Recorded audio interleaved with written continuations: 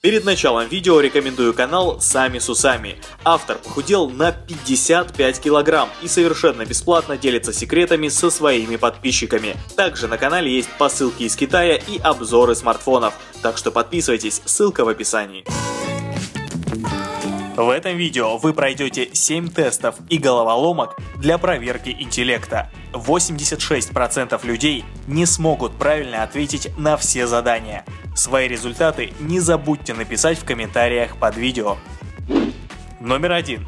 Начнем с не очень сложного задания, чтобы просто проверить, насколько вы сосредоточены и готовы к тесту.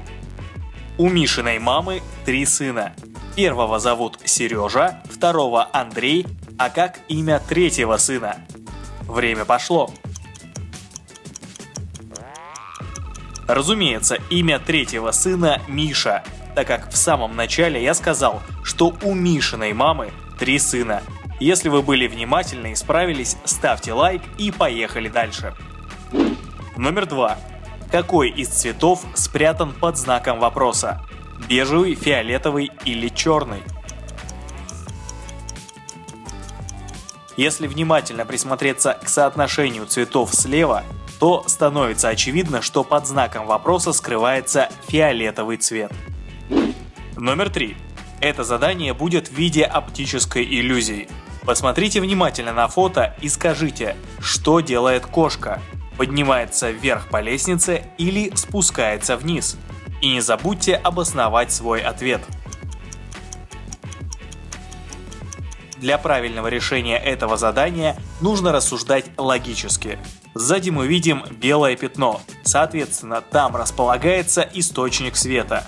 Плюс сбоку на ступеньках можно заметить небольшие тени, из чего делаем однозначный вывод, что кошка спускается вниз по лестнице.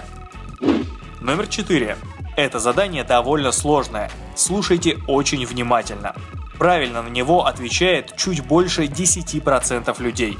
Итак, когда мы покупаем это, оно черного цвета. Когда используем, становится красным. А после использования приобретает серый цвет. Что же я имею в виду? Итак, правильный ответ это уголь. Когда мы покупаем его, он черного цвета. Когда используем, становится красным. А когда он прогорает, то приобретает серый цвет. Номер 5. Посмотрите внимательно на картинку и скажите, что вы видите. Если вы увидели только красный круг, то считайте, что провалили задание. А если разглядели животное, да еще и точно определили, что это лошадь, то значит справились с заданием. Номер 6. Какое число должно быть в квадрате со знаком вопроса? Итак, логика проста. Разрыв между числами увеличивается на 3.